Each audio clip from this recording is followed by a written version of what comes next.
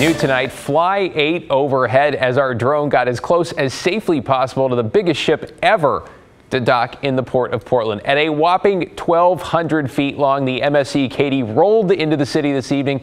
It's come from China, South Korea, and Seattle, now making the trip here to offload nearly a thousand containers. Once it's done, it's back out to sea. Next stop, my old home, Vancouver, BC.